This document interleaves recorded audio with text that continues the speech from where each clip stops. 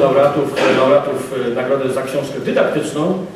Pierwsza nagroda, która została przyznana y, pani doktor Norze Orłowskiej oraz doktorowi Michałowi Zbigniewowi Dankowskiemu z Wydziału Filologicznego za książkę pod tytułem Ameryka Łacińska, dzieje i kultura. Bardzo proszę o wystąpienie przed scenę. A.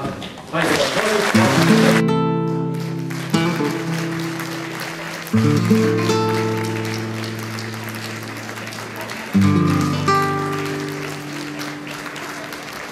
Mm-hmm.